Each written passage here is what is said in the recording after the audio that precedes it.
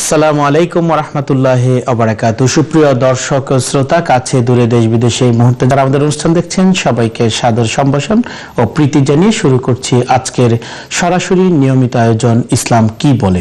সঙ্গে আছি মোহাম্মদ শহীদুল্লাহ। আশা করি সবাই সুস্থ আছেন, নিরাপদে আছেন, ইবাদত বন্দিগির মধ্যে ভালোভাবেই পুরো সপ্তাহ জুড়ে কাটিয়েছেন।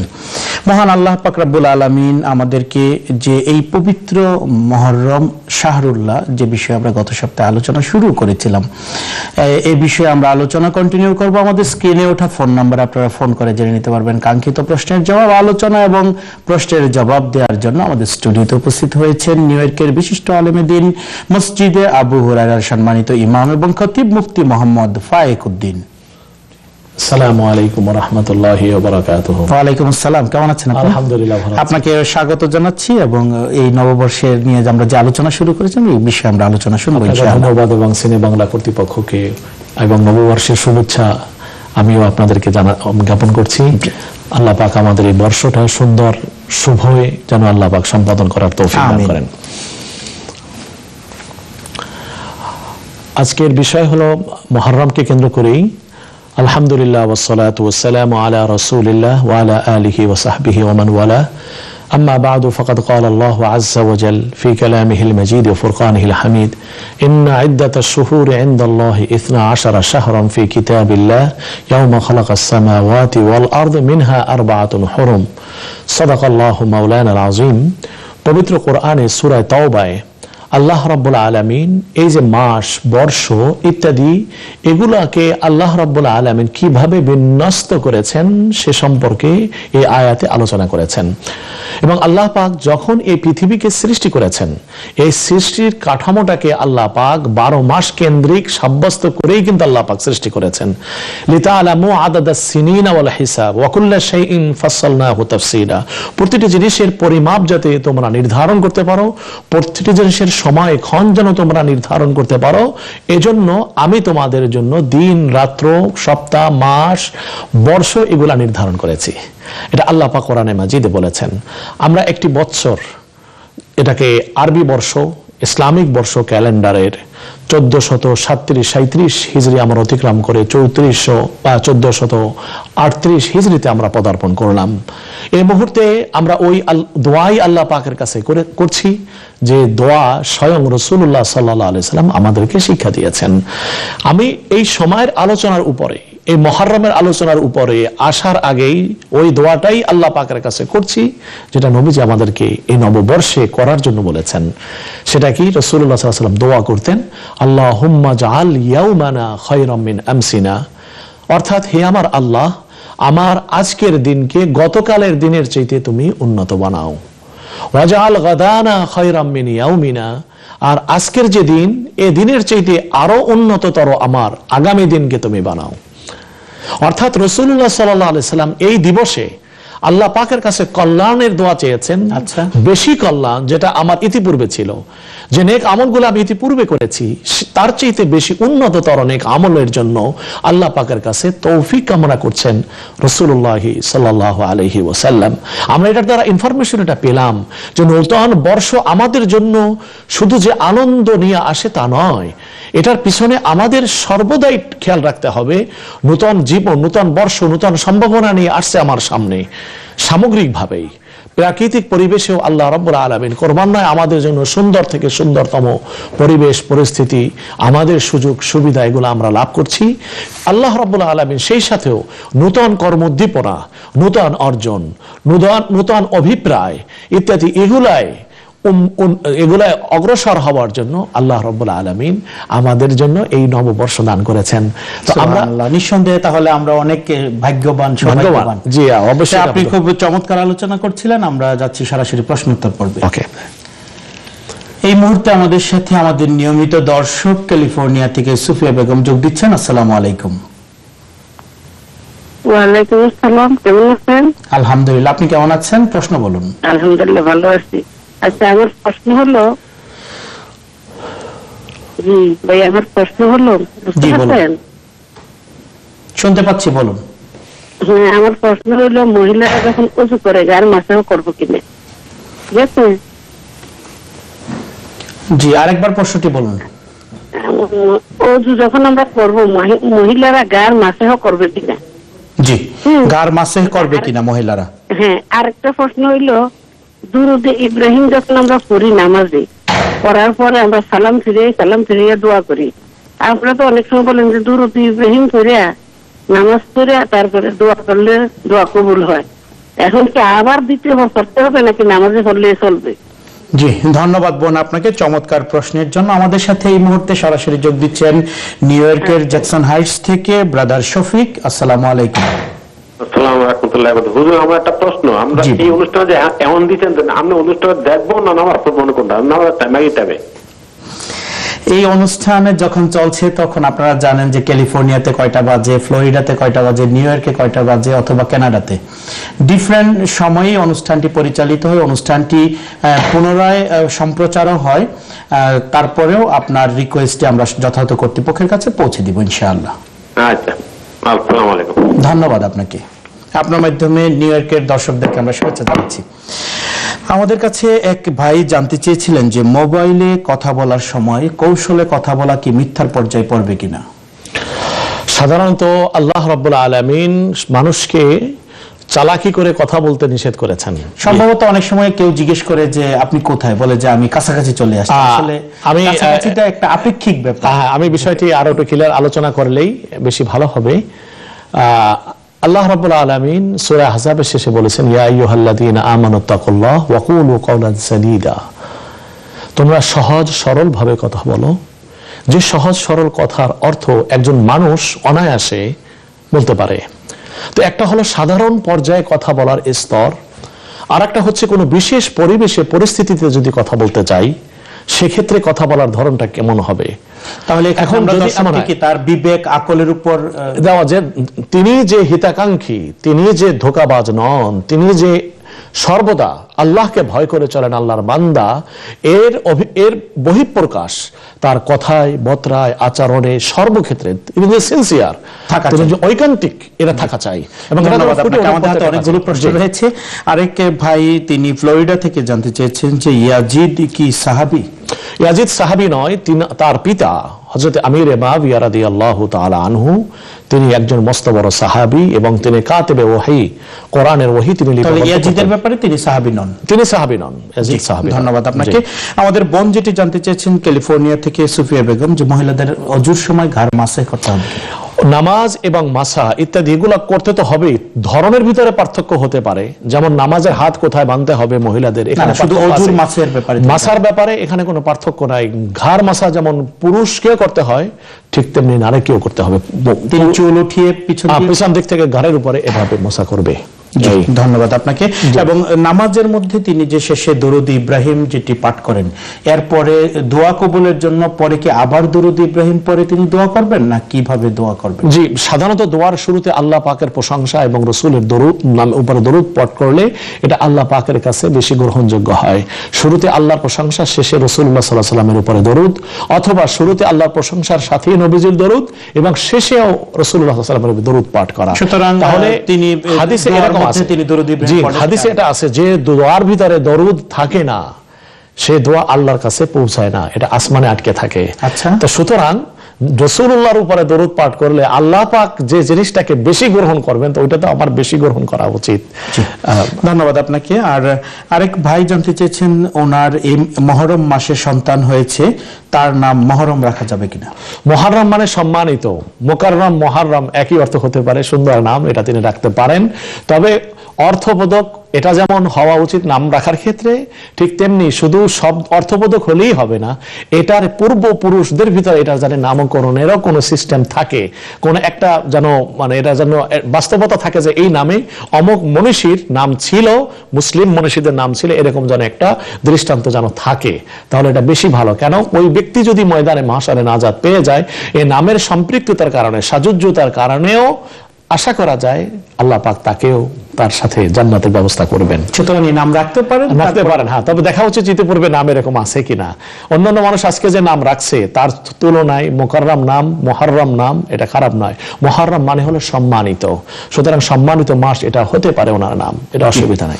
আরেক ভাই যেটি বলেছেন সেটি আপনিও শুনেছেন যে ব্রাদার শফিক জ্যাকসন হাইস থেকে নিউ ইয়র্কের তিনি অনুরোধ করেছেন আমাদের এই প্রোগ্রামের সময়সূচি নিয়ে যে তিনি এখন মাগরিবের সালাত আদায় করতে যাবেন না অনুষ্ঠান দেখবেন কনফিউশন কথা তো ঠিকই অনুষ্ঠান দেখা ফরজ নয়। তবে মাগরিবের নামাজ পড়া ফরজ। আমরা শুদ্ধ শরীয়তের এই সিদ্ধান্ত তবে এই সময়ে কিন্তু ক্যালিফোর্নিয়া অথবা অন্য জায়গায় তো এখনও অনেক সময় আমরা এই- প্রোগ্রামটা যখন নাকি আসর থেকে আমরা মানে সামারের সময় এই টাইমটাই আমরা কিন্তু আসর পূর্ব থেকে নিয়ে আসর পর্যন্ত আমরা শেষ করতাম।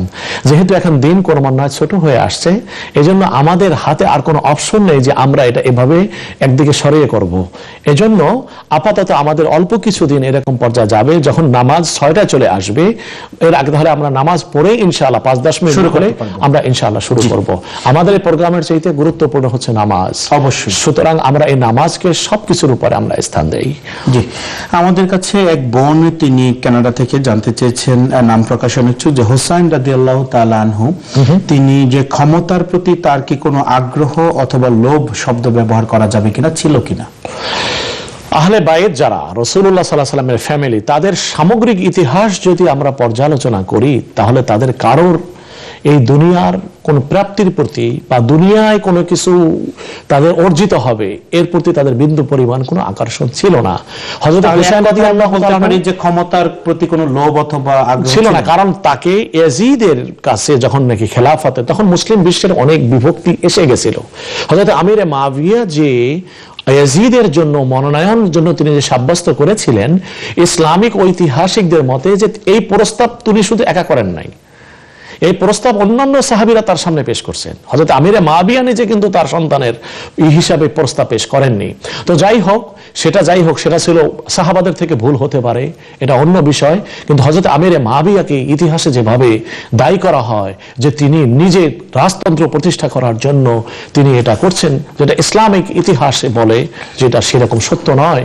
এবং তিনি এজিদের মনোনয়নের পূর্বে খেলাফতের জন্য মনোনীত করেছিলেন হজরত হাসান রাদি আল্লাহ তালানহুকে কিন্তু হজরত হাসান রাদি আল্লাহ তালানহুর কাছে যখন দূত প্রেরণ করবেন, পথিমধ্যে দূত ফেরত আসে যে যে তার কাছে সংবাদ পাঠানো হয় যে হজরত হাসানকে বিষ প্রয়োগে শহীদ করা হয়েছে। এরপরে তিনি মদিনায়, এরপরে তিনি এজিদের বায়াতের ব্যাপারে অন্যান্য সাহাবাগণ যে তাকে পরামর্শ দিয়েছিলেন, তিনি সেই দিকে মনোনিবেশ করেন। তো যাই হোক হজরত হোসাইন রাদি আল্লাহ তালা আনহু যখন নাকি অবরুদ্ধ হলেন, তখন তিনি তিনটা কথা বলছিলেন যে, আমাকে ইয়াজিদের দরবারে নিয়ে চলো। অথবা আমাকে, আমি যেখান থেকে আসছি সেখান থেকে আমাকে ফেরত যেতে দাও। নম্বর তিন প্রস্তাব এটা ছিল যে, আমাকে যদি এই দুটা প্রস্তাবের কোনোটা প্রস্তাব তোমরা গ্রহণ না করো, তাহলে আমাকে মুসলিমদের, ইসলামিক সীমান্তে, মুসলিম দেশের সীমান্তে, যেখানে সীমান্ত রক্ষার জন্য, সীমান্ত রক্ষার সীমান্ত বাহিনীরা তারা প্রাণপণ লড়াই করছে, আমি তাদের সাথে যে মুসলিম এই ভূখণ্ডকে হেফাজতের লড়াই আমি অবতীর্ণ হই। কিন্তু তাকে কোনো অপশনই তার গ্রহণ করা হয়নি। এজিদের দরবারে যাওয়ার অর্থটা কি? যদি তিনি তার কাছ থেকে বিদ্রোহই কবে, তার কাছে যাওয়ার অর্থটা কি? তিনি যদি তার ক্ষমতাই ছিনিয়ে নেওয়ার ইচ্ছা করেন, তিনি ফেরত গেলেন কেন? তো যুদ্ধের ময়দানে তো ফেরত যাওয়ার কোনো সুযোগ নাই। হজরতে হুসাইন রাদিয়াল্লাহু তাআলা মদিনায় ফেরত যেতে চেয়েছিলেন কেন? আমরা জানি এটা জিহাদের ময়দান থেকে পৃষ্ঠ প্রদর্শন করা এটা হারাম। যেমন নাকি কোন আর্মিরা যদি যুদ্ধের ময়দান থেকে পলায়ন করে আর্মি ক্যাপ্টেন যিনি থাকেন তার রাইট থাকে। ছিল না। এটা ওই ওই জন্য তিনি যান নাই। বরং কুফাবাসীরা হজরতে হুসাইন রাদি আল্লাহ তালা আনহুকে খলিফা মনোনয়ন করবেন এই মর্মে তারা চিঠি দিছে ওনাকে। হাজার হাজার চিঠি যেটা বস্তা ভরে তিনি নিয়ে কুফাবাসীদের সামনে দেখিয়েছিলেন যে তোমরা আমার হাতে বায়াত গ্রহণ করবে। এরপরে আমি এই বিষয় নিয়ে আমি এজিদের সাথে কথা বলব। এটা ছিল তার উদ্দেশ্য। কিন্তু তার উদ্দেশ্য এটা ছিল না যে ওখানে যে তিনি লড়াই করবেন কিংবা তার ক্ষমতা উচ্ছেদ করবেন, এরকম পরিকল্পনা ছিল না। এবং তার এটাও ইচ্ছা ছিল না যে তিনি খলিফা হবেন। আর একটি বিষয় হলো এই প্রসঙ্গে বলা উচিত যে হজরতে হাসান রাদি আল্লাহ তালানহু যখন খলিফা হলেন, এটা তো অনেক পরের ঘটনা, পঁয়ষট্টি হিজড়ির পরের ঘটনা, ষাট থেকে পঁয়ষট্টি হিজড়ির ভিতরের ঘটনা এটা। কিন্তু হজরতে আলী রাদি আল্লাহ তালানহুর শাহাদাতের পরে এই খেলাফত অর্পণ করা হয়েছিল হজরতে হাসান রাদি আল্লাহ তালানহুর কাছে। এটা খুবই গুরুত্বপূর্ণ, আমাকে আমাকে জানতে হবে এটা। হজরতে হাসানকে হজরত আলী রাদি আল্লাহ তালানহু খলিফা মনোনয়ন করলেন, কার পরে? ওনার পরে। যে তিনি কি হবেন? হজরত হাসান খলিফা হবেন। তাহলে যদি আমিরে মাবিয়া তার সন্তানকে খলিফা বানায় থাকেন, এটা যদি রাজতন্ত্রের কারণ হয়ে থাকে, তাহলে এই অভিযোগ তো হজরত আলী রাদি আল্লাহ তালানুর উপরেও আসবে। যেটা আমাদের বুঝতে হবে যে ইসলামের এখানে একটা ব্যাখ্যা আছে যে যোগ্যতম ব্যক্তির উপস্থিতিতে, যোগ্যতর ব্যক্তির উপস্থিতিতে যোগ্য ব্যক্তি খলিফা হতে পারে। নম্বর দুই হচ্ছে, ইসলামের কথা হচ্ছে এই মাথা গুনতি হিসাব করে নির্বাচন করা লিডারকে এটা ইসলামে স্বীকৃত নয়। ইসলামে বলে যদি মুষ্টিমেয় যারা নাকি পরামর্শক পর্ষদ তারা যদি আমাদের বোনকে আমরা বলতে পারি যে হজরত হোসাইন রাজি আল্লাহ তালাহু তিনি ক্ষমতার প্রতি লোভী অথবা আগ্রহী। মানে আমি এই কথাটা শেষ করলে আরও আরও আরও ক্লিয়ার হয়ে যাবে। হজরত হাসান রাদি আল্লাহ আনহু ছয় মাস তিনি খলিফা থাকলেন। হজরত আলী রাদি আল্লাহ খেলা স্থলাভিষিক্ত হলেন। এবং ছয় মাস পরে তার এই খেলাফতকে তিনি দিয়া দিলেন হজরতে আমির মাহবিয়া রাদি আল্লাহ তালানহুকে এখন প্রশ্ন হচ্ছে এই যে উনি যখন ক্ষমতা অর্পণ করেন, এত বড় সাম্রাজ্যের তিনি খলিফাতুল মুসলিমিন, তিনি স্বেচ্ছায় কীভাবে হজরত আমিরে মাহবিয়াকে খেলাফত দিয়া দিলেন? তখন তিনি বলেছিলেন যে, ফ্যামিলিতে আল্লাহ পাক নবুয়াতি দিয়েছেন। সেই ফ্যামিলির জন্য দুনিয়ার খেলাফতের কোনো প্রয়োজন নাই। কতখানি উদারতার দৃষ্টিতে তিনি দেখিয়েছিলেন তাহলে এই ফ্যামিলিতে তারা ক্ষমতা চাবে তাদের ক্ষমতা দেওয়ার জন্য সকলের কাছে তারা গ্রহণযোগ্য ছিলেন। মুকুটবিহীন তারা ছিলেন বাদশাহ। তাদের দুনিয়ার রাজাত্বের কোনো প্রয়োজন ছিল ধন্যবাদ আপনাকে চমৎকার জবাবের জন্য। প্রিয় দর্শক, আপনারা আপনারা আমাদের স্ক্রিনে ওঠা ফোন নাম্বারে ফোন করে জেনে নিতে পারেন আপনাদের কাঙ্ক্ষিত জীবন ঘনিষ্ঠ প্রশ্নের জবাব। এই মুহূর্তে আমাদের সাথে সরাসরি যোগ দিচ্ছে নিউ ইয়র্কের জ্যাকসন হাইটস থেকে বাবুল মিয়া। আসসালামু আলাইকুম। আসসালামু আলাইকুম আসসালাম। হুজুর, আমাদের নবী করিম সাল্লাল্লাহু আলাইহি সাল্লাম ফরজ নামাজের পরে মাথায় হাত দিয়ে একটা দোয়া করতেন। কোন দোয়াটা এটা একটু জানতে চাই। ধন্যবাদ বাবুল মিয়া আপনাকে। আপনার মাধ্যমে নিউ ইয়র্কের সকল দর্শকদেরকে আমরা শুভেচ্ছা এবং প্রীতি জানাচ্ছি। আপনি আমাদের অনুষ্ঠান দেখতে থাকুন এবং জানতে পারবেন আপনাদের জীবন ঘনিষ্ঠ প্রশ্নের জবাব। আমাদের কাছে এক ভাই জানতে চেয়েছেন যে হাই হুসাইন বা ইয়া হুসাইন বলে জিকির অথবা মাতম করা যাবে কিনা? সম্পূর্ণ হারাম। কারণ হচ্ছে প্রথম যে মাতমের বিষয়টি মাতম মানে শোক প্রকাশ করা। শোক মূর্ছা জিকির শব্দ উল্লেখ করেছেন। জিকির তো আল্লাহ ছাড়া নবীর নামেও জিকির করা যাবে না। হজরত হুসাইন তো দূরের কথা। ইয়া মোহাম্মদ ইয়া মোহাম্মদ আমরা কি এটা জিকির করি? আমরা জিকির করি না। আমরা জিকির করি আল্লাহ পাকের নামে। ওজকুরুল্লাহ জিকরান কাসীরা। আল্লাহর নামে জিকির কো আমরা করি। রাসূলুল্লাহর উপর আমরা দরুদ পাঠ করাই। কারণ জিকির হবে আল্লাহর জন্য যিনি স্রষ্টা। যিনি সৃষ্টি তার জন্য জিকির নয়। অনুরূপ ভাবে হাই হুসাইন হাই হুসাইন জিকির করা। এবং আমি জানি আমাদের দেশে অনেক পীরের নামে পর্যন্ত জিকির করে। যারা পীরের নামে জিকির করে তারা ডাইরেক্ট শিরিক করে। যদি তারা তওবা না করে তাদের ইমান ধ্বংস হয়ে গেছে। এই উপর মৃত্যু হলে তারা মুশরিক অবস্থায় মৃত্যুবরণ করবে। ধন্যবাদ আপনাকে। আমাদের কাছে এক ভাই জানতে চেয়েছেন যে আরবি নববর্ষ আনুষ্ঠানিকভাবে উদযাপন করা যাবে আমি একটু এইটার একটু অল্প একটু কথাটা রয়ে গেছে এটা না বললেই নয়। যে এক নম্বর হচ্ছে মাতম করা শোক প্রকাশ করা কোনো ব্যক্তি যদি মারা যায় যত বড়ই ব্যক্তি হন আমরা আগে অনুষ্ঠানে বলেছিলাম যে দিন তিন দিন পর্যন্ত এরপরে কিন্তু শোক প্রকাশ করা যায় না। সুযোগ নেই। সুযোগ নেই। সুতরাং এটার ভিতরে যদি শোক কোনো ব্যক্তির মৃত্যুকে কেন্দ্র করে পালন করা হয় শরীয়তে এটাকে বিন্দু পরিমাণ সাপোর্ট করে না। আমাদের কাছে এক ভাই জানতে চেয়েছেন যে আরবি নববর্ষ আনুষ্ঠানিকভাবে উদযাপন করা যাবে আনুষ্ঠানিকতার ব্যাখ্যাটা কি? আনুষ্ঠানিকতা হলো শরীয়ত গর্হিত কোনো কিছু যদি না হয়, শরীয়ত সেই জাতীয় অনুষ্ঠানকে, নববর্ষকে কেন্দ্র করে সাপোর্ট করে। যেহেতু এই দিবসকে উদযাপন করা বা এই দিবসকে কেন্দ্র করে যে একটা নতুন বর্ষের আমেজ এবং রসুল্লাহর দোয়া এই ক্ষেত্রে রয়ে গেছে, সেজন্য এই নববর্ষ উদযাপন করা আরবি অনুযায়ী, ইসলামিক ক্যালেন্ডার অনুযায়ী এতে কোনো বাধা নাই। কিন্তু কন্ডিশন হচ্ছে এই, শরীয়তের গণ্ডি এবং সীমানা রক্ষা করে এই উদযাপনটা করতে হবে। আমি একটুখানি বল- বলতেই পারি যে আমাদের সাংস্কৃতিক অনুষ্ঠান বলতে আমরা মনে করি যে গান বাধ্য হতে হবে।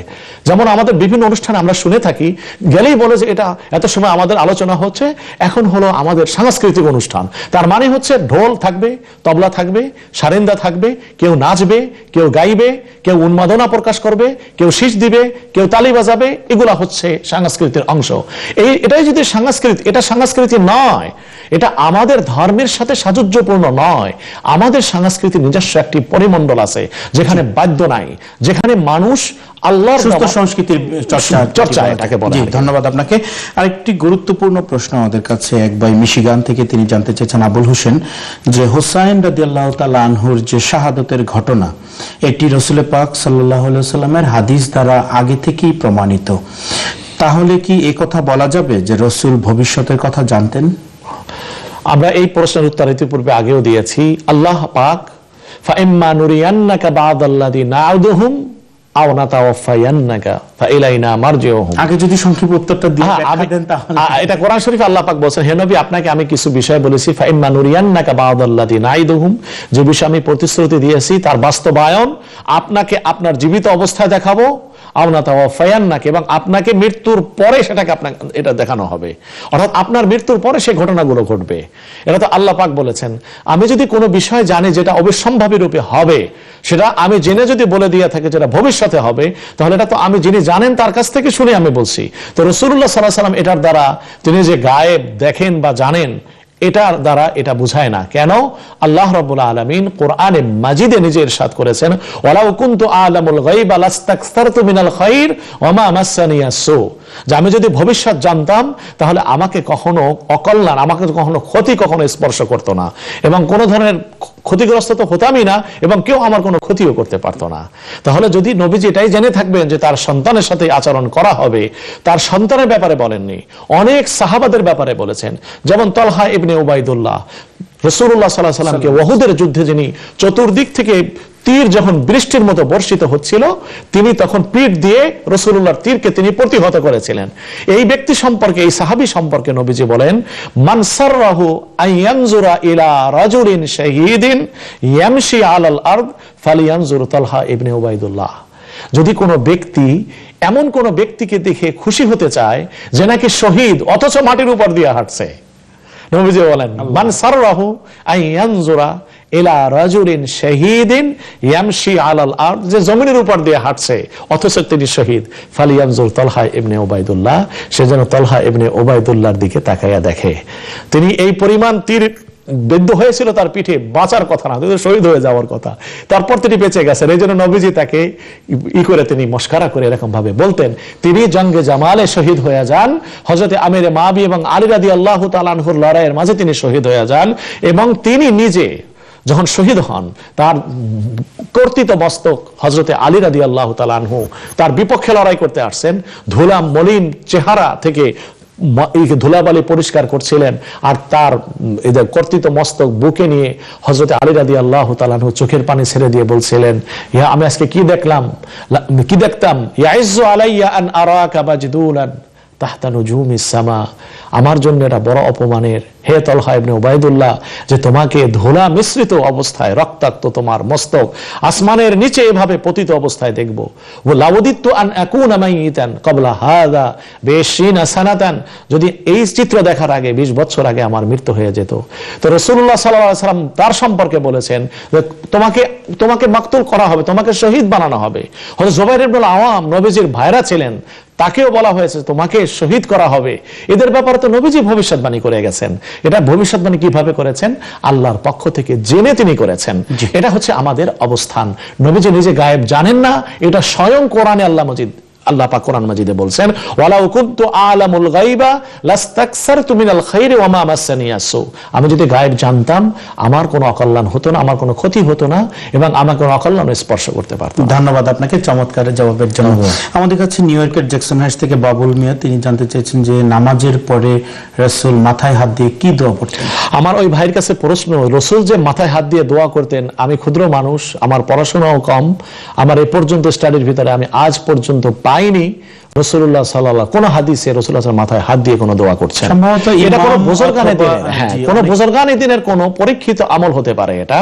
যেমন ইয়া কবি ইউ অনেক আমল এরকম দেখা যায় যাদের মস্তিষ্ক থাকে দুর্বল অনেক কিছু মনে রাখতে পারে না।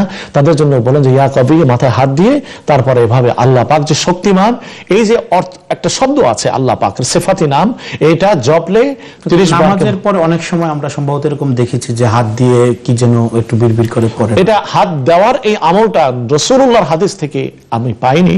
তবু আমার যেহেতু আমি যে সবই জানব এমনও কোনো কথা নেই।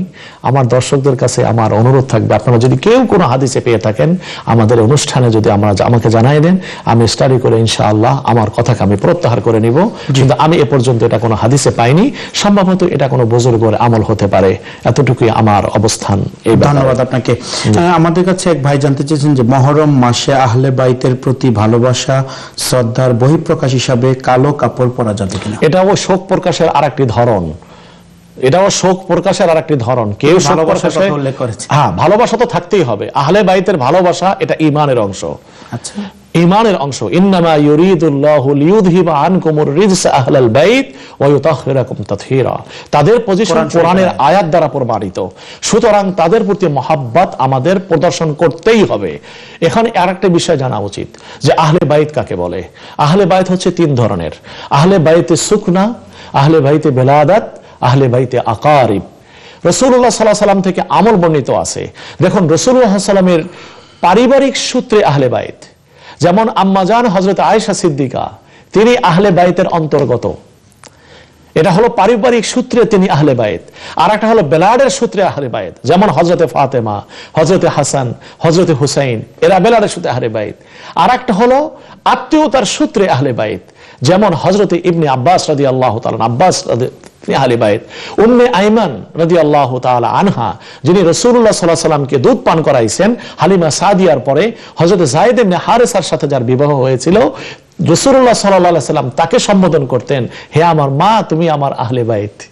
তা রসুল্লাহ সাল্লাহ সাল্লাম এখানে আহলে বায়েত বলে ওই মহিলাকে, ওই সাহাবিয়াকে সম্বোধন করলেন যিনি তার দুধ মা ছিলেন, তার বংশের ছিলেন না। তাহলে বোঝা গেল আহলে বায়েত যে শব্দটি বলা হয় এককভাবে শিয়ারা যেমন পাঁচজনকে তারা মনে করে। নবী সাল্লামকে বাদ দিয়ে চারজনকে হজরত আলী হজরত হাসান, হুসাইন এবং হজরতে ফাতেমা। যেটা সম্পূর্ণ গর্হিত, যার কোনো শরিয়াতে ভিত্তি নাই। এটা সম্পূর্ণ এক দেশদর্শী ব্যাখ্যা, যার সাথে আহলে সুন্নাতল জামাত একমত নয়। আহলে বাইতে সুকনা, আহলে বাইতে বেলাদাত আর আহলে বাইতে আকারেব। এই তিন প্রকারের আহলে বাইত সমষ্টি হচ্ছে আহলে বাইত। সুতরাং আহলে বাইত শুধু রক্তের সূত্রে যারা তাদেরকে সীমাবদ্ধ করলে, এটা আহলে সুন্নতাল জামাতের ব্যাখ্যার ভিতরে এটা পড়ে না। আমাদের সাহাবাদের সম্পর্কে আহলে সুন্নতাল জামাত কারা? যারা নাকি ফজিলাতুস শাইখাইন, দুই সাহাবীর মর্যাদাকে সর্বদা উচ্চ স্থান দেয়। ওহব্বুল খতনাইন। খতনাইন মানে দুই জামাই। জামাতা হজরত আলী এবং হজরত ওসমান তারা দুজন হচ্ছেন রসুল্লাহ সাল্লাহ সাল্লামের জামাতা। সুতরাং তাদের ভালোবাসাও। ফজিলাতুস শাইখাইন, যে সমস্ত সাহাবাদের ভিতরে এই দুই সাহাবির ফজিলা সর্বোন্নত। হজরতে আবু বকর হজরতে ওমর। ওয়াহব্বুল খতানাইন, এবং মহাব্বত হচ্ছে বাকি দুই জামাতার প্রতি। এক জামাতা হলেন হজরত উসমান, দ্বিতীয় জামাতা হলেন হজরতে আলীউল মুরতাজা রাদি আল্লাহ তালা আনহু। সুতরাং শিয়া, শুধু হজরতে আলীকে বাদে বাকি তিন খলাফায় রাশেদার ব্যাপারে তারা গর্হিত মন্তব্য করে, তারা সাহাবি বলেও স্বীকার করে না, তারা আরও অযাচিত কথা বলে, যেগুলো শুনলে মানুষের শরীর শিউরিয়ে ওঠে। সুতরাং তাদের মিশ্রিত, তাদের আকিদা নির্ভর কথাগুলা আমাদের সুন্নিদের ভিতরে অনেকটা চালু হয়ে গেছে, যেটা আমরা অজান্তেই আমরা তাদের কথাকে গ্রহণ করে আহলে বাইতেকে আমরা সাব্যস্ত করি এক দেশদর্শী হিসাবে। সুতরাং আহলে বাইত যেমন রসুল্লাহ রক্তের সম্পর্কে যারা তারাও, যারা রসুলের পরিবরস্থ তারাও, এবং যারা রসুলের আত্মীয় স্বজন, তারা সকলেই আহলে বাইতের অন্তর্গত। সুতরাং তাদের প্রতি আমাদের সকলের বিশ্বাস ভালোবাসা থাকতে হবে।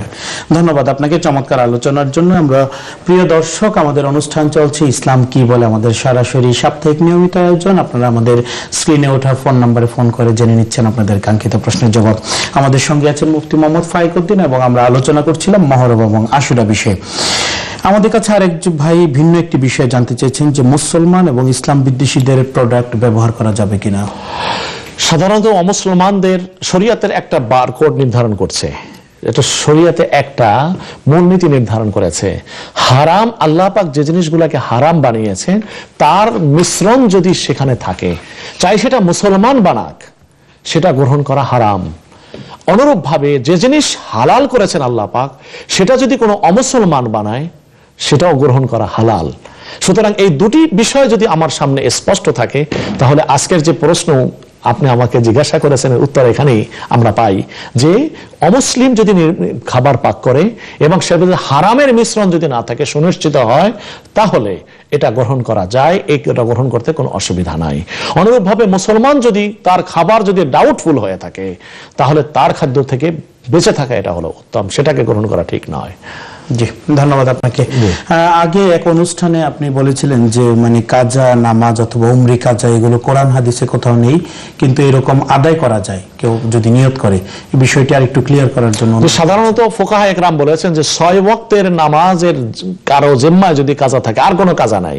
শুধু ছয়টা ওয়াক্ত নামাজ তার অধীনে কাজা হয়ে গেছে। এখন এই অবস্থায় যদি কেউ ওয়াক্তিয়া নামাজ পড়ে, আমি একটু, আরেকটু খুলে বলছি, যখন এখন মকরিবের নামাজ হচ্ছে, আমার এর আগে কাজা রয়েছে, আসর জোহর, ফজর ঈশা মাগরিব এবং আসর।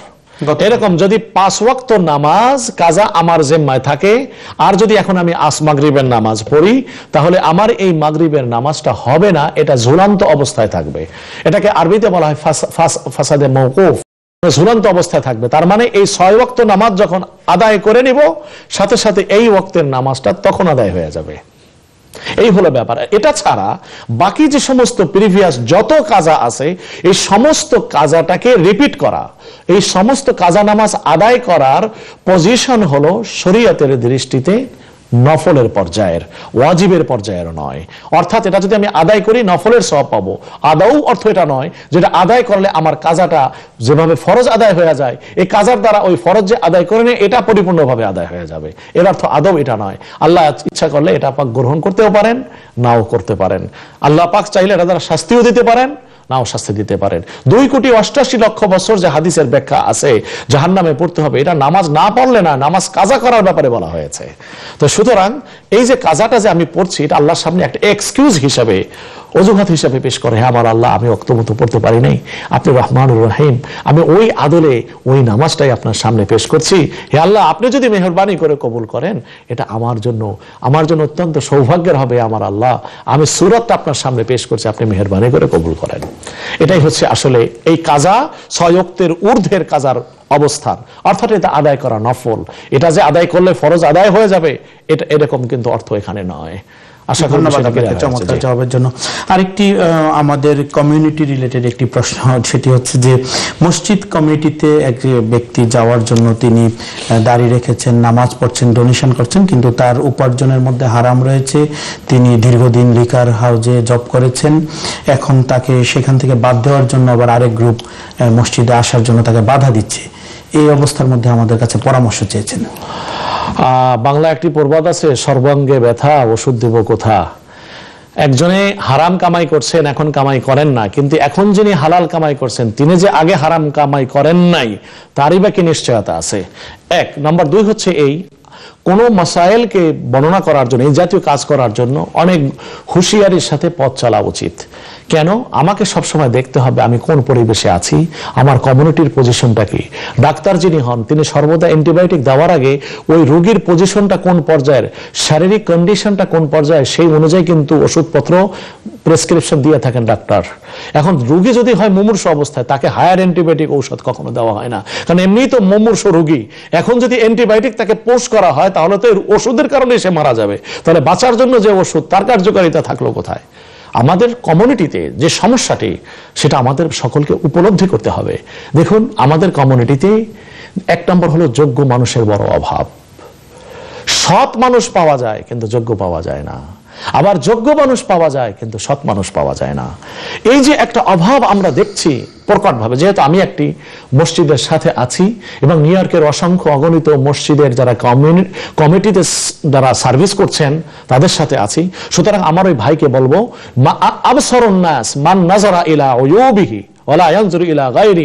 ওই ব্যক্তি হলো সবচেয়ে বেশি দ্রষ্টা, চক্ষুষ্মান, যে নিজের দোষ ত্রুটি দেখে। অন্যের ত্রুটির ব্যাপারে চক্ষু বন্ধ করে থাকে। অর্থাৎ নিজের দোষের প্রতি যার দৃষ্টি থাকে, সে কখনো অন্যের দোষ তালাশ করে বেড়াতে পারে না। সুতরাং যে ব্যক্তি আজকে মসজিদের খেদমত করছে, আপনি তার জন্য দোয়া করুন। তিনি দাঁড়িয়ে রাখছেন, তাকে অ্যাপ্রিসিয়েট করুন। হতে পারে এই মসজিদের খেদমত করার কারণে, এই মসজিদের খেদমত আঞ্জাম দেওয়ার কারণে অতীতের যে ভুল করছেন, আল্লাহ পাক হয়তো তওবার দ্বারা তাকে মাফ করে দিবেন। আপনি যদি আজকে তাকে এই কারণে তাকে এই খেদমত থেকে দূরে সরেন, তাহলে এমন হতে পারে, বেচারা দাঁড়িয়েও রাখবে না আবার তিনি মদের ভিতরে চলে গেলেন। তাহলে এই যে দ্বিতীয়বার যে গোনাটা করলেন, আপনার এই ভুল ত্রুটি তার দিয়ে তাকে অপমানিত করার কারণে ওই দ্বিতীয়বারের গোনার সম্পূর্ণ দায়ভার কিন্তু আপনাকেও বহন করতে হবে। কারণ আপনার কারণে একজন মানুষ নেক পথ থেকে সরে অন্য পথে সরে গেছে। আমি আরেকটু কথা বলে এখানে শেষ করব। অনেকে হয়তো মনে করবেন, এটা আমরা আমাদের নিজস্ব ওপিনিয়ন এখানে দিচ্ছি। রসুল্লাহ সাল্লাহ সাল্লামের কাছে এসে বলেন, ইয়া রসুল আল্লাহ আমার ভিতরে তিনটি অভ্যাস আছে। এক নম্বর হচ্ছে চুরি করা, এক নম্বর হচ্ছে চুরি করা দুই নম্বর হচ্ছে জেনা করা তিন নম্বর হচ্ছে মিথ্যা কথা বলা। রসুল্লাহ সাল্লাহ সাল্লামের সামনে এই বললেন যে আমি সব এগুলো একসাথে ত্যাগ করতে পারব না রসুল্লাহ নবীজি কি বললেন? ঠিক আছে তোমার একসাথে ত্যাগ করা দরকার নাই। তুমি শুধুমাত্র একটি জিনিস সর্বপ্রথম ত্যাগ করো সেটা হচ্ছে তুমি মিথ্যা কথা বলা ছেড়ে ছেড়ে দাও। এবং তুমি আমাকে প্রতি সপ্তাহে বলবে এসে তুমি কি করছ? কি হলো? এই সাহাবী যখন চুরি করতে গেলেন তখন তিনি মনে করলেন, আহা, আমার নবীজিকে তো যে বলতে হবে আগামী সপ্তাহে আমি কি করেছি? আমি চুরি করে কীভাবে আমার নবীজির সামনে যে বলব যে আমি চুরি করেছি? আর আমি তো মিথ্যাও বলতে পারব না। এই জন্য তিনি চুরি ত্যাগ করলেন। জেনার সময় যখন হলো, তিনি চিন্তা করেন, আমার নবীজির কাছে যেতে কথাটাও বলতে হবে। তো যাই হোক, শেষ পর্যন্ত তিনি সবকিছুই ছেড়ে দিলেন। তা তিনি যেহেতু মসজিদে আসছেন দাঁড়িয়ে রেখে মদের ব্যবসা করে, মদের কাজ করে, আজকে তো তিনি ভালো পথে আসছে। এটাকে আপনি অ্যাপ্রিসিয়েট করুন, তাকে ধন্যবাদ দিন, তাকে আরও আপনি এনকারেজ করুন যাতে এই দিনের কাজে বেশি সম্পৃক্ত হয়। এখন যদি আপনি তাকে দূরে সরাই দেন, তার অতীতের কর্মকাণ্ড সম্পর্কে, তিনি তো নাফারমানি আপনার করেনি, করলে আল্লাহর করছে। ওই আল্লাহ পাক তাকে আল্লাহর ঘর পর্যন্ত নিয়ে আসছেন আপনি কেন তার ব্যক্তিগত দোষ ত্রুটি চর্চা করে তাকে আল্লাহর ঘরের খেদমত থেকে আপনি দূরে রাখছেন? হ্যাঁ আপনি যদি তার চাইতে ভালো হয়ে থাকেন আপনি দাবি করেন যে আমি হলাম আমি পরিপূর্ণভাবে নিষ্কুলুষ আমার ওই লোকের চাইতে আমার গোনাহের পরিমাণ কম আমি তার চাইতে মসজিদ খেদমত করার যোগ্য আপনি মসজিদের সামনে এসে দাঁড়িয়ে যান আপনার বাকি মানুষগুলো আপনাকে সিলেক্ট করে মসজিদ কমিটিতে নিয়ে নেবে। ধন্যবাদ আপনাকে চমৎকার জবাবের জন্য বাস্তবমুখী। প্রিয় দর্শক আমাদের অনুষ্ঠান চলছে ইসলাম কি বলে এই মুহূর্তে আমাদের সাথে যোগ দিচ্ছেন নিউ ইয়র্কের ওজন পাক থেকে বোন রোকসানা। আসসালামু আলাইকুম। হ্যালো। জি শুনতে পাচ্ছি প্রশ্ন ভাই আমি বলছি আমার রুকসানা আমার একজন লোক দুই বছর পাঁচ মাস হয়ে গেছে বলছে যে আমি লিগেল করিয়া দিব অথবা কাগজ বানাইয়া দিব। এখন মিথ্যা কথা বলে আজ আঠারো দিন ধরে ফোন ধরে না। ওর ওর বাসা হলো গ্র্যান্ড এভিনিউ দরজার নাম্বার হইল ফোর সিক্স জি প্রশ্নটি বলুন এটি ব্যক্তিগত বিষয় যদিও। ধর্মীয় আলোকে আপনি কি পরামর্শ চাচ্ছেন?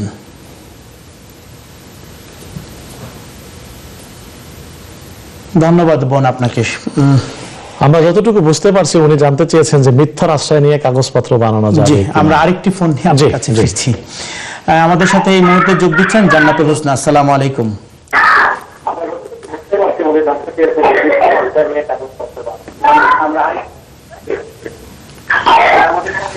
টেলিভিশনের ভলিউম কমিয়ে প্রশ্ন করুন।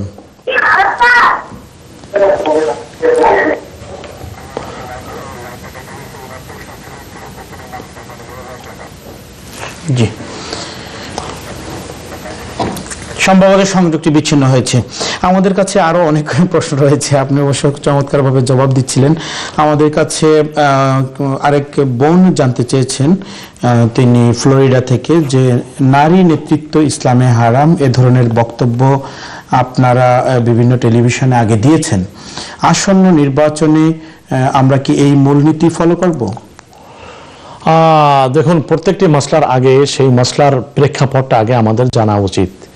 ইসলামে নয়, সারা পৃথিবীতে মহিলাদের নেতৃত্ব পুরুষের তুলনায় নাইনটি নাইন পার্সেন্ট নাইন হচ্ছে পুরুষের, আর ওয়ান পার্সেন্ট যদি হিসাব করি, তার মাইনাস ওয়ান পার্সেন্ট আমি যদি ধরি, এটা হলো নারী নেতৃত্ব।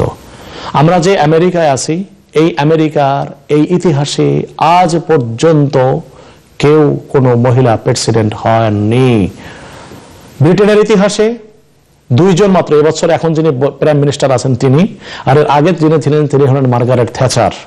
এই দুইজন ব্রিটিশের ইতিহাসে দেখা গেছে। অথচ মুসলিম বিশ্বে তানসু সিলার ছিলেন তুর্কির প্রথম মহিলা প্রধানমন্ত্রী। এরপরে পাকিস্তানের দুই দুইবার প্রধানমন্ত্রী হলেন বেনজির ভুট্টো। এরপরে কি হলো?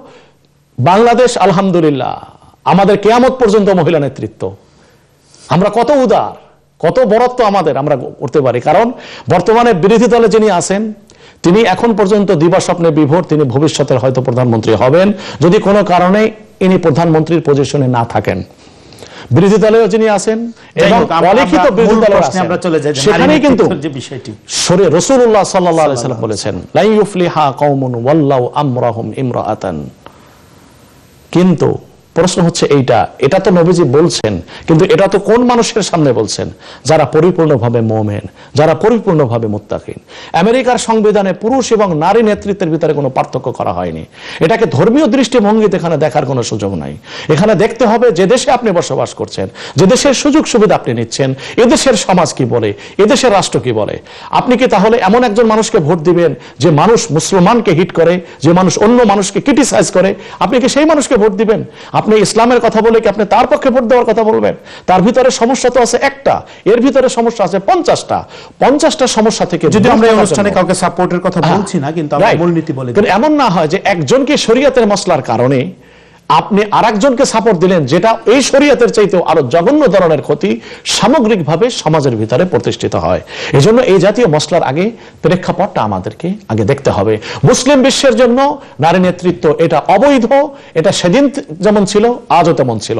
কিন্তু এই ফতোয়া অনেক দেশে চলবে না, কারণ এদেশের সমাজ ব্যবস্থা মুসলিম নয় এদেশের সমাজ ব্যবস্থা ইসলামিকও নয়। যদি এই মুসলিম এবং ইসলামের সংখ্যাগরিষ্ঠতার ভিত্তিতে হয়ে থাকে, তখন এই মশলা প্রযোজ্য যে নারীকে ভোট দেওয়া যাবে কিনা? সুতরাং এখানে এই মূলনীতি কার্যকর এখন আমার শেষ পর্যন্ত আরেকটি প্রশ্ন আমার। সেটা হচ্ছে এই নারী নেতৃত্ব এখানে টানা প্রয়োজন নাই। শরীয়তে মশলা আছে। যদি কোনো বেপর্দায় শুধু নারী নেতৃত্বের কথা বলেনি যে সমস্ত মহিলারা আমি ক্লিয়ার বলছি যে সমস্ত মহিলারা বেপর্দায় চলে আমি সকলের দৃষ্টি আকর্ষণ করছি। এটা ইসলামী শরীয়তের বিধান। যে সমস্ত মহিলারা বেপর্দায় রাস্তায় ঘোরাফেরা করে আর ওই সমস্ত মহিলারা যারা পর্দা, হেজাব করে শরীরে হেজাব, ওই শরীর হেজাবকারী মহিলা, তারা কখনো এই বেপর্দায় মহিলাদেরকে দেখা দিতে পারবে না। কেন? বলা হয়েছে যে যে সমস্ত মহিলারা বেপর্দায় চলে তারা পর্দানশীলা মেয়েদেরকে দেখা দিতে পারবে না। কেন? এই মহিলার হলো ওয়াল মার আতুকার রেজাল। এই নারীরা হলো পুরুষের মতো। সুতরাং একজন বেগানা নারীকে যেভাবে একজন পুরুষ দেখতে পারে না পর্দানশীল নারী ঠিক তেমনি বেপর্দা আমরা আশা করি আপনার কাছ থেকে বুঝতে পেরেছি আমি মনে করি না আজকে যে নারী নেতৃত্বের কথা বলছেন তিনি পর্দানশীলের সাথে এই মশলার ভিতরে আসবে না। আমার শরীয়তের এই মশলাটা যদি নেন তাহলে শরীয়তের ব্যাখ্যায় দেখা যাচ্ছে সমস্যা অনেকগুলো প্রশ্ন রয়েছে যদি দিতে চান, আবারও খুব তাড়াতাড়ি। প্রিয় দর্শক আমাদের এই মুহূর্তে আমাদের সাথে যোগ দিচ্ছেন নিউ জার্সি থেকে আমাদের বোন তানি। আসসালামু আলাইকুম।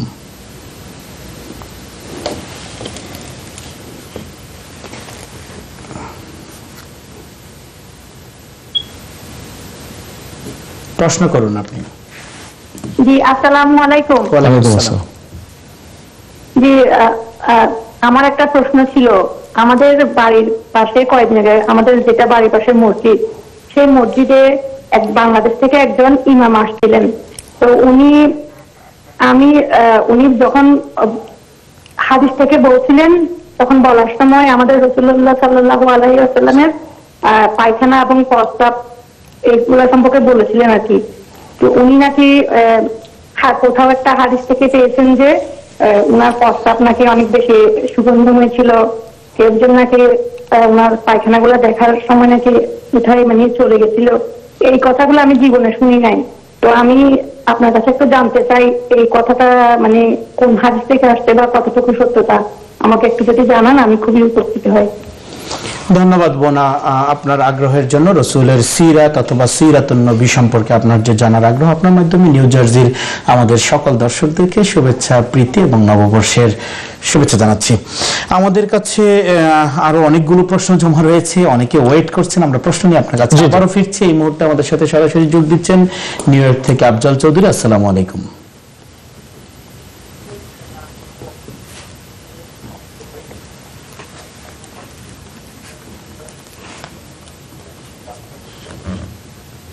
আব্দুল চৌধুরী না আব্দুল চৌধুরী। জি। হ্যালো দুঃখিত জি প্রশ্ন বলুন। জি প্রশ্ন হইল একজন মুসল্লি আমাকে বলে মসজিদে যে আপনার দাড়ি এত খাটো করে রাখছেন কেন? বুঝছেন এটা খুব খারাপ লাগে আমার কাছে জানি না কেন উনি সবসময় এগুলো ওইটা ব্যাপারে আমি আপনার কাছে জানতে চাচ্ছি আর এটা কেন বলে ওরা আহ, ধন্যবাদ। আমরা যদিও বিষয়টি ক্লিয়ার নয়, আপনার প্রশ্ন দ্বারা যেটুকু বুঝতে পেরেছি, সে আলোকে আমরা জবাব দেওয়ার চেষ্টা করব, ইনশাআল্লাহ। ধন্যবাদ আপনাকে। আমাদের কাছে এক বোন জানতে চেয়েছেন তাদের পারিবারিক একটি প্রশ্ন যে, মসজিদের নাম এলাকার নামে রাখা যায় কিনা? যেমন মহাকালী অথবা গোপাল জামে মসজিদ, এরকম রাখা যাবে কিনা? সাধারণত এলাকার নামটি সেরকম। যদি এরকম হয়ে থাকে মানুষের জায়গা বোঝাবার জন্য তাহলে ওই জাতীয় নাম পরিহার করা উচিত যার সাথে অন্য ধর্মের সম্পৃক্ততা আছে। যেমন গোপাল মসজিদ, এগুলো রাখা হয়। কারণ গোপাল এটা শব্দ দ্বারা আর একটা ধর্মের অনুসারী মানুষকে বোঝায়। যারা নাকি মূর্তি পূজা করে, অগ্নি পূজা করে, পৌত্তলিকতার পূজারী।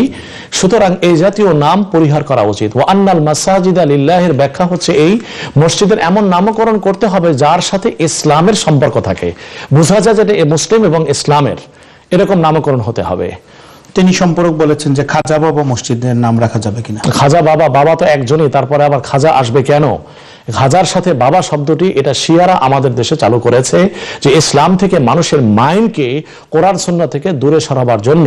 সুতরাং এই খাজা বাবা এই শব্দটি বাবা হবে একজন হুয়া যে তোমরা তোমাদের আসল পিতাকে পিতা বলে ডাকো আর একজন পিতার পরে বাবার সংখ্যাটা বাড়ানো পৃথিবীর কোন সমাজে কিন্তু এটা গ্রহণ করা হয় না।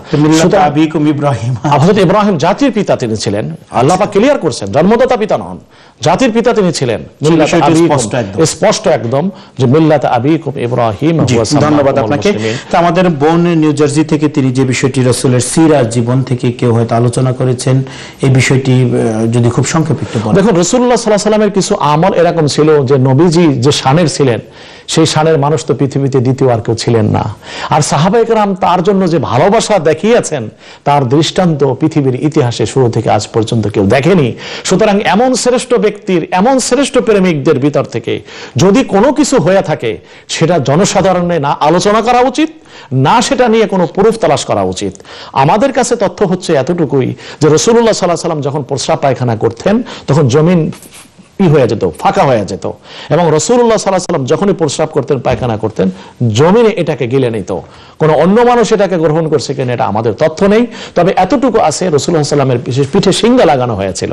সিঙ্গা লাগানো যেমন বেদের আমাদের দেশে, তো এক সাহাবিকে বললেন, যেহেতু মানুষের শরীরে সম্মানিত, সুতরাং এর বর্জিত যে অংশটা, সেটা যখন শরীর থেকে বিচ্ছিন্ন হবে, নবীজি সেটাকে বলছেন মাটিতে দাফন করতে। যেমন আমাদের চুল, আমরা তো ফেলে দেই, নখ কেটে ফেলে দেই। নবীজি বলছেন, না, এটা ফেলবে না, এটা মাটির ভিতরে দাফন করে রাখবে। আচ্ছা। তো রসুল্লাহ সাল্লাহ সাল্লাম ওই সাহাবিকে বললেন যে তুমি এই সিঙ্গার যে রক্তটুকু আছে এটা তুমি ভালো করে হেফাজত করে আসো যাতে করে অন্য কোনো দেখে বাইরে কোথাও পড়ে না থাকে।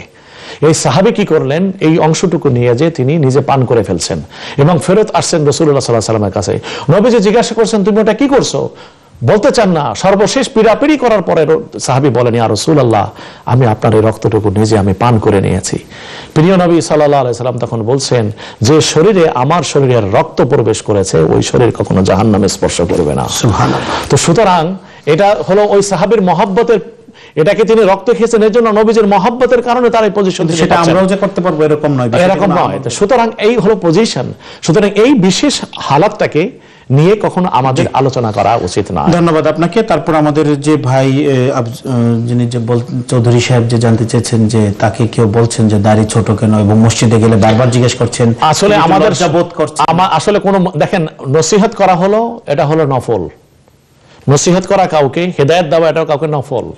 যদি মনে করে হেদায়ত দিলে ঠিক হয়ে যাবে তার উপরে কর্তৃত্ব আছে সেখানে হলো আপনার দাওয়াত দেওয়া ফরজ। শরীয়তের মশলা বলা সেখানে ফরজ। এখানে যিনি বলছেন দাড়ি ছোট কেন, তিনি তাকে অপমান করছেন। অপমান বোধ করছেন তিনি। কোনো মুসলমানকে অপমান করা, রাইট কথা বলেও যদি সে অপমান বোধ করে, তার জন্য এটা হারাম, এটা করতে পারেন না তিনি। এভাবে বলতে পারবেন না। তিনি যদি না জেনে থাকেন, কাউকে দাওয়াত কীভাবে দিতে হয়, তাহলে দাওয়াতের কাজ থেকে তাকে বিরত রাখা উচিত। এটা এরকমই যেরকম আমি আপনাদেরকে আগেও বুঝিয়েছিলাম যে পীর সাহেব বলছেন, পাগড়ি বাঁধা সুন্নত। এখন তিনি বাথরুমে গেছেন, কাঁচা বাথরুমে পাগড়ি পরে গেছে। তখন তিনি কি করছেন? নিজের কাঁচা সেলাইবিহীন লুঙ্গি, এই লুঙ্গি খুলে তিনি মাথায় পাগড়ি বাঁধছেন। তো বের হয়ে যখন আসছেন, তখন বলে যে, এই অবস্থা কেন? বলে যে, না, আমার পীর সাহেব বলছেন, পাগড়ি বাঁধা সুন্নত, এই জন্য আমি পাগড়ি বাঁধছি। তখন বললেন যে, বেকুব কোথাকার? তোমার ফরজ তরক হয়ে গেছে। তোমার এই খবর নাই, তুমি সুন্নত নিয়ে টানাটানি করছ? আরে আল্লাহর বান্দা, আপনি যে মানুষকে দাঁড়ির জন্য আপনি বলছেন, তিনি আপনার কথার দ্বারা কষ্ট পাচ্ছেন, অপমান বোধ করছেন, আর আপনি মনে করছেন আপনি সব কামাই করছেন, ওই ব্যক্তি নিশ্চয়ই গোনায় কবিরা করছেন। তবে এক্ষেত্রে জানা উচিত, দাড়ি রাখার সুন্নত তরিকা কতটুকু? তিনি বলছেন, বড় দাড়ি রাখতে হবে, এজন্য আমি বড় দাড়ি রাখব না, ব্যাপারটা এটা নয়। আমার দাড়িটা কমপক্ষে এক মুষ্টি পরিমাণ যেন থাকে, এটা হলো সুন্নত মোতাবেক হবে। আপনি এখন ট্রাই করছেন আস্তে আস্তে। আলহামদুলিল্লাহ আল্লাহ পাক আপনাকে আরও তৌফিক দান করুন। ইনশাআল্লাহ আপনার জন্য আল্লাহ পাক পথ খুলে দেবেন। দাঁড়িয়ে যখন রাখছি আর একটু লম্বা রাখলেই অসুবিধা কি? দাঁড়িয়ে রাখছি তো মানুষ তো এটা বলবেই। সুতরাং আপনি যদি লম্বা রাখেন আপনার কেচি ব্যবহার করার জন্য যে সময় লাগবে সে সময় আপনার বেঁচে যাবে। ব্লেড ব্যবহার করার সময় বেঁচে যাবে পয়সা খরচও কম হবে। বহু দিক থেকে সাশ্রয়ের সুযোগ আছে আর সুন্নাত তো পাঁচজন পার থেকে আমাদের এক বোন তার একটি ব্যক্তিগত ইস্যু নিয়ে আলোচনা শুরু করেছিলেন। সংযোগটি বিচ্ছিন্ন হয়েছে যে তার সাথে কেউ হয়তো প্রতারণা করেছেন। এই জন্য হয়তো তিনি কোনো পরামর্শ চাচ্ছেন। প্রতারণা করতে বুঝেছে কাগজপত্র বানাবার জন্য এটাই বলছিলাম যে আমাদেরকে এটা জেনে রাখতে হবে। আল্লাহ পাক যেখানে আপনার আমার রুটি রুজি রাখছেন সেখানে আমার আপনাকে কোনো না কোনো ভাবে আমাকে পৌঁছাইতে হবেই। আমি আল্লাহ পাক আমাকে পৌঁছাবেনি এখন বলা যে আমি তো মিথ্যার আশ্রয় ছাড়া কাগজ পাচ্ছি না আমি তো মিথ্যার আশ্রয় নিয়ে কাগজ করলাম। আল্লাহ পাক আপনার জন্য হালাল আশ্রয়ের ব্যবস্থা করেছিল কিন্তু আপনি সেদিকে না যে আপনি হারামের আশ্রয় নিয়ে নিজে হারামের সাথে সম্পৃক্ত করলেন। সুতরাং কোনো মিথ্যার আশ্রয় নিয়ে কোনো মিথ্যার আশ্রয় নেই। যেমন ট্যাক্স ফাইলের ভিতরে অনেকে, এই যে সামনে আসছে ট্যাক্স ফাইলের মাম্প অনেকে যা ইনকাম করে সেটাকে হাইড করে তারপরে লেখে, যে পরিমাণ পয়সা বেশি পাবে গভর্নমেন্টের কাছ থেকে ট্যাক্স রিটার্ন এগুলো সম্পূর্ণ হারাম। কেন? যেহেতু এখানে মিথ্যার আশ্রয় নিয়ে মিথ্যা কথা বলে তারপরে টাকাটা নেওয়া হয়েছে। তো আমি আপনাকে আর একটি হাদিস বলি রসুল্লাহ সাল্লাহ সাল্লামের সামনে, এক ব্যক্তি অন্ধ, সে বাঁশি বাজায়া, তারপরে তার জীবিকা নির্বাহ করত। রসুল্লাহ সাল্লাহ সাল্লাম তাকে বললেন যে আল্লাহ পাক তোমার জন্য যে হালাল উপায়ে উপার্জনের ব্যবস্থা রেখেছিল সেটাকে বাদ দিয়ে তুমি কেন হারাম উপায়ে তোমার রুজি তুমি অর্জন করছ? অর্থাৎ নবীজি এটা বুঝালেন যে তুমি যদি বাসে না বাজায় খাবার তুমি কি করতে? জীবিকার জন্য তুমি চেষ্টা করতে। আল্লাহ পাক সে ব্যবস্থা তোমার জন্য করে দিতেন। কিন্তু তুমি যেহেতু নিজে এই পথটা বেছে নিয়েছো এজন্য এই হারাম তরিকায় তোমার ইচ্ছায় তুমি এটাকে এই পথে তুমি অগ্রসর হয়েছো। আল্লাহ পাক তোমাকে হারামের দিকে নেন নাই। তুমি নিজে চয়ন করে তুমি সেই দিকে তুমি অগ্রসর হয়েছো। ধন্যবাদ সুতরাং আমরা যেন হারামের আশ্রয় নিয়ে মিথ্যার আশ্রয় নিয়ে কাগজপত্র হোক যে কোনো জায়গায় মুসলমান যে সর্বদা সে সত্যবাদী সে থাকবে। মুসলমানদের মুখ এবং কলব এই দুইটা কখনো এক হতে মানে পার্থক্য হতে পারে না। তার সততা এবং সত্যবাদিতা দুটি জিনিস এটা জীবনের জন্য অনিবার্য। হজরত আলী রাদি আল্লাহ তালানহ এই জন্যই তো বলেছেন যে তুমি সর্বদা সত্য কথা বলবে, কারণ তোমার কথা ভবিষ্যতে কারও কাছে বিশ্বাসযোগ্য হওয়ার জন্য তোমাকে আর কখনো শপথ তাহলে করতে হবে না।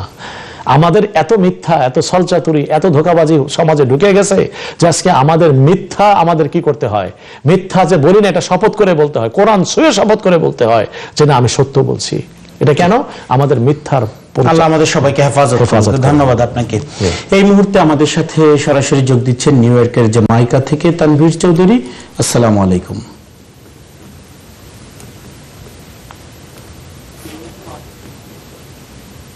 Hello, Assalamu alaikum. ওয়ালাইকুম আসসালাম। প্রশ্ন বলুন। Um, my question was, uh, I was a little confused about zakat. Um, people are saying that I should, it sh- the zakat should be on uh, my total income and everything I saved, and others are saying that when I pay the zakat, it should be income, savings minus any debt that I have. I just want a clarification on what I should be paying my zakat on. Okay thank you so much হ্যাঁ, আমার বাংলায় উত্তর দিলে বুঝবেন কিনা সেটা তবু আমি ওনার জন্য বলছি যে ডেপ্ট is three kind of debts Number one, which one you will not give, not will get return it in your life because those who took your loan, he will not return. His history said he never returned these things to those who are debted person. That's why this is, is deductible from your mm-hmm. zakat uh, number two is you have if you have the uh, loan for for your house for your car which one for maintaining luxury life this kind of loan is not free from your zakat you can deduct this amount from the zakat Only for yearly. Oh, yearly, yeah. You can deduct this one because that, and finally, whatever you have at this time, and someone took from you the money, you have to include in your zakat. And which one? Those who took this one and then he will not return it anymore, then you have to deduct this one. Whatever luxury, whatever you paid to somebody as a loan, these both things will be countable and you have to pay. And anybody buy the more uh, business purpose or anything, you know? Yeah, they have to pay this one. If he has a money, if he paid before paying the zakat, this will deductible. But if he has a money, but he didn't, this amount he didn't pay for his paid loan, paid off loan, this amount should be countable as a zakat wealth. তো ধন্যবাদ। হ্যাঁ, আমাদের হাতে আরও অনেক প্রশ্ন ছিল তো আমরা মূল যে আলোচনা শুরু করেছিলাম মানসব যে আল্লাহ যে শাহরুল্লাহ যে মহরম সম্পর্কে আপনি আলোচনা শুরু করেছিলেন এ বিষয়ে আপনি অনেকগুলো প্রশ্নের জবাব দিয়েছেন এবং প্রাসঙ্গিক প্রশ্নের জবাবও দিয়েছেন। আহ, তা আপনাকেও ধন্যবাদ জানাচ্ছি এবং সর্বশেষ দর্শকদেরকে যদি আপনি এই মাসের বাকি দিনগুলো আমরা কীভাবে কাটাতে পারি এই সম্পর্কে যদি কিছু একটু বলেন। আল্লাহ রাব্বুল আলামিন এই আয়াতের ভিতরে যেখানে মহরমের আলোচনা করেছেন, ফালা তাজলিমু ফিহিন আনফুসাকুম। যে তোমরা এর মাসে তোমরা নিজেদের উপরে জুলুম করো না। এই যে শব্দটি আল্লাহ পাক বলেছেন যে নিজের উপরে জুলুম করো না, অত্যন্ত তাৎপর্যবহ। কেন? আমরা সবচেয়ে বেশি জুলুম করি আমাদের নিজেদের জীবনের উপরে। সেটা কীভাবে? সেটা হচ্ছে এই যে আমাদের জীবনটা যে ক্ষণিকের আমাদের জীবনটা যে সীমাবদ্ধ সময়ের, আমাদের জীবনটা যে অসীম কালের জন্য নয়, একটা দিন অতিবাহিত করার দ্বারা আমি একটা দিন কিন্তু মৃত্যুর কাছাকাছি হলাম। আমার জীবনের অ্যাক্টিভিটিস আমার জীবনের কার্যক্রম, আমার জীবনের স্বপ্ন, আমার জীবনের আয়োজন, এগুলা কোনো কিছুর ভিতরে কিন্তু এটার প্রভাব নেই। যে আমার একটা দিন সামনে আসছে সেদিন আমাকে এই দুনিয়া ছেড়ে যেতে হবে। আমরা ওই দিনটা মনে না রাখার কারণে আমাদের জীবনকে। আমরা এমন ভাবে তৈরি করছি যে আমাদের হয়তো আর মালাকুল মৌত ফেরেশতা কখনো আসবে না। সুতরাং এই নববর্ষ এই নববর্ষ এটা নববর্ষ নয় এটা আমার জন্য নূতন বার্তা এগিয়ে নিয়ে আসছে যে আমার মৃত্যুর বর্ষটা আমার নিকটবর্তী হয়ে গেছে। সুতরাং সময়কে যেন আমরা অযথা নষ্ট না করি। যে কাজগুলো আমার পরকালের জন্য সময়ের জন্য গুরুত্বটা আমরা বাড়িয়ে দিই। আমরা অনুষ্ঠানের শেষ পর্যায়ে আরেকটি কল নিচ্ছি। এই মুহূর্তে আমাদের সাথে সরাসরি যোগ দিচ্ছেন আলহাজ আব্দুল নূর। আসসালামু আলাইকুম। ওয়ালাইকুম সালাম প্রশ্ন বলুন। প্রশ্নটা হইল ভাই যদি এখন কেউ কোর্টে কোর্টে রায় দিল যে আমার টাকাগুলা দিবে কিন্তু এই টাকাগুলা লইতে তো অনেক লেন্দি হইব এরপরে এই টাকাগুলার সঙ্গে তো সুদ পর্যন্ত শেয়ার করে দিব। যখন আমি লিন করলাম ওর অ্যাকাউন্টে তা ওই যে সুদের টাকাগুলো আমার অ্যাকাউন্টে ওগুলাও জমা হইব। এখন আমি কি করব? ও লোকের লোকে তো আমার ঝগড়া। আমি ওই টাকাগুলো তো আর তারে দিতে পারব না। সুদের টাকাগুলো ওই আমার লিনের মধ্যে জয়েন্ট হইব। তখন আমি কি করব? টাকাগুলা। ধন্যবাদ আপনাকে আপনার সতর্কতার জন্য আল্লাহ পাক আপনাকে হেফাজত করুক সুদ থেকে।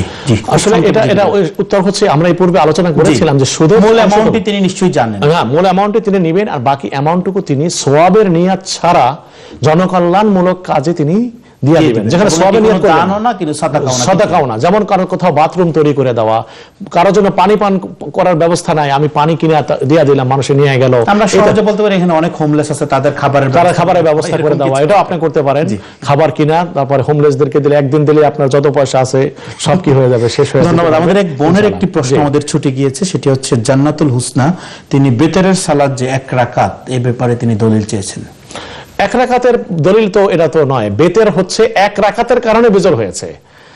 এক রাখাত নামাজের কারণে। নামাজ তো আসলা তো মাস মাসনা মাসনা। নবীজি বলেন, নামাজ হচ্ছে দুই রাখাত দুই রাকাত। এটা প্রথম পর্যায়ে দুই রেখাত দুই রেখাত করেই শুরু হয়েছিল ফরজ হয়েছিল। এই বিষয়ে আমরা আগে বিস্তারিত আলোচনা করেছি। কোন অনুষ্ঠান আর অনুষ্ঠান আলোচনা করব। সুতরাং রসুল্লাহ বলেন তুমি তাহাজ্জুদ পড়ছো আর তোমার সোবে সাদেক নিকটবর্তী হয়ে গেছে। তো তাহাজ্জুদের শেষ সময় কখন? যখন নাকি সোবে সাদেক শুরু হয়ে যায়।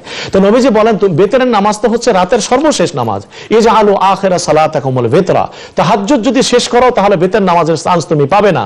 নবীজি সেই ক্ষেত্রে বলছেন আউতির বিরাক আয়াতিন দুই রাকাত নামাজের সাথে তুমি যদি আর তার বেতের নামাজ না পড়ে থাকো তাহাজুদ পড়ছো তাহাজুদের দুই রাকাতের সাথে আর এক রাকাত নামাজ পড়ে তুমি এটাকে বেজর বানিয়ে ফেলো, বেতর বানিয়ে ফেলো। আশা করি বিষয়টা বোঝা গেছে। এটা হলো বেতেরের নামাজ। এখন এটার অর্থ আদৌ এটা না যে বেতেরের নামাজ হচ্ছে এক রাকাত। জি। তো ধন্যবাদ জানাচ্ছি আজকে আপনি এই গুরুত্বপূর্ণ আলোচনা অংশ নেওয়ার জন্য আজকের অনুষ্ঠান আপনাকে অসংখ্য ধন্যবাদ জানাচ্ছি। ভালো থাকুন দীর্ঘায়ু আপনাকে অসংখ্য ধন্যবাদ জানাচ্ছি সুন্দর অনুষ্ঠান পরিচালনার জন্য এবং শ্রেণি বাংলা কর্তৃপক্ষকেও। সুপ্রিয় দর্শক এতক্ষণ ধরে আমরা আলোচনা করছিলাম পবিত্র মাস মহরম উপলক্ষে তার প্রাসঙ্গিক আলোচনা। এবং সেই সঙ্গে আপনাদের পাওয়া প্রশ্নগুলোর জবাব আমরা দিচ্ছিলাম। আমাদের স্ক্রিনে ওঠা ইমেইলে আপনারা প্রশ্ন পাঠিয়ে দিতে পারেন ফোন করতে পারেন আমাদের সরাসরি নিয়মিত আয়োজনে।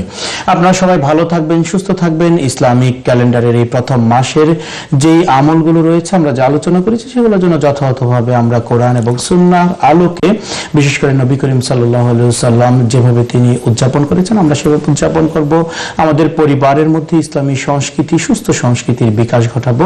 আল্লাহ পাক আমাদের সবাইকে সুস্থ রাখুন, ভালো রাখুন, ইবাদতের মধ্যে রাখুন এবং কাছে দূরে এই মুহূর্তে যারা আমাদের সবাই অনুষ্ঠান দেখেছেন, সবার শুভ কামনা করে এখানে বিদায় নিচ্ছি। আল্লাহ হাফেজ।